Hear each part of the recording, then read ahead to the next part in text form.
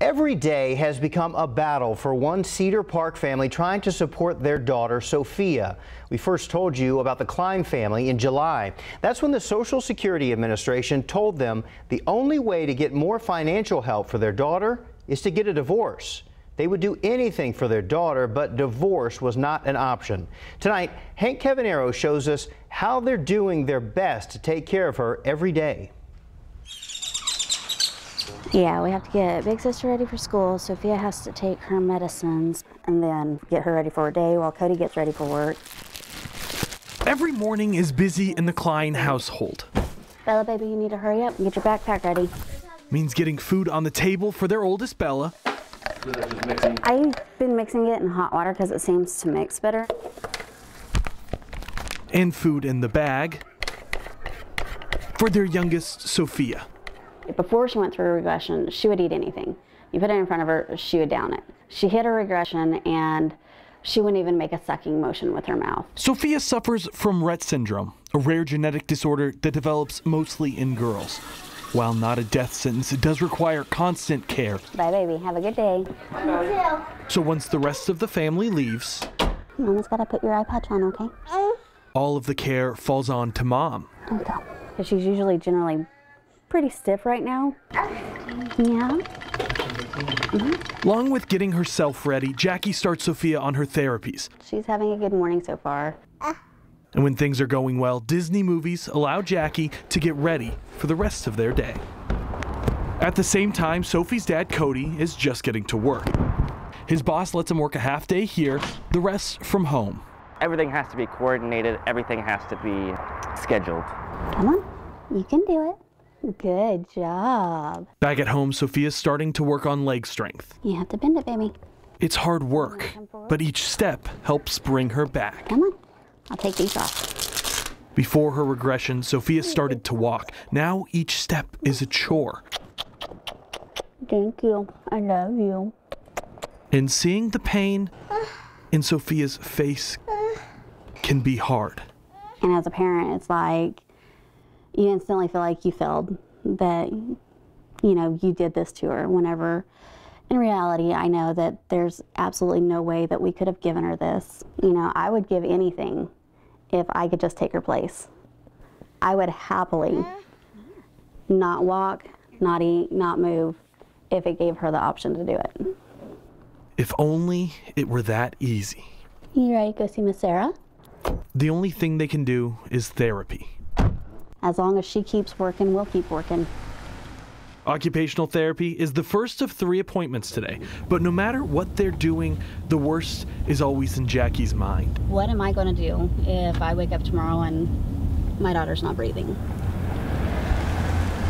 What's going to happen to my daughter if this disorder doesn't take her, but it takes me and my husband?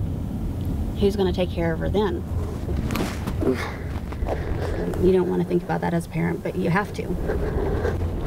So you just do what you have to do to get through. Six, seven, eight, nine, ten. Our shoulders. Sarah McQueen is Sophie's occupational therapist. Reach, reach, reach, reach. There you go. She's working on range of motion and strength, Push. Good girl. Did you see that? using tools and toys for Sophia to interact with. That looks good today. Reach. She has therapies every day except for Mondays and Fridays now. It gets to be very stressful for us because we know that she's in pain. We know that something's going on, but we don't know where it is. We don't know what kind of pain it is. Look at that pretty girl in the mirror. Rett syndrome is best shown through its symptoms. Whether it's the tremors of Parkinson's or the atrophied muscles of muscular dystrophy, You are looking at that yellow ball. I see you. it's ever so apparent. You did eight rocks. Good job. But every second of working keeps her progressing forward. All right. You got a busy day, girlfriend. Bye. On to the chiropractor. It's basically we're taking pressure off different nerves and also stimulating her muscles to where they can stay functioning and not atrophy or weaken. Dr. Barry even uses a special form of electronic acupuncture before helping mom de stress. Mama's turn. Birds and the bees were there. Then back at the house, Do we want to play? Do we want to eat? Do we want to watch? It's speech therapy. While dad has started working from home, Have a little taste? she uses a machine called a Tobii. It tracks her eyes and gives her an opportunity Can you tell me what you want? to communicate. To eat. No. We can have some yogurt. She picked it up immediately. She blew us all away when we did the first trial with her. You want to do Old McDonald? It's the first chance we get to really see her personality. Where's the pig? The sheep. The side of Sophia so many miss. She can't communicate with us verbally, but cognitively, she's 100% there, and she is 100% diva three year old. I feel silly. Are you in a silly mood today? Uh oh. Oh, yeah. When she says, I feel silly, she immediately turns to you and makes her like silly, like, ha ha face. I mean, I, I think the biggest asset to her success is her parent involvement. They are fierce advocates for her. Okay. But even these therapies aren't enough. Her parents are looking at other therapies. Insurance won't cover them, and the Social Security Administration says they make too much as a couple and could only help if the parents get divorced. Which is why Jackie leaves at 2 for her job. And if you ask her why she does this, she'll stop and tell you. The why is always the hardest thing because unless you're a parent, you don't really get the why. But once you become a parent, the why is not even a question because it's just automatic. It's instant. You do what you have to do to make sure your children have what they need. It's a sacrifice.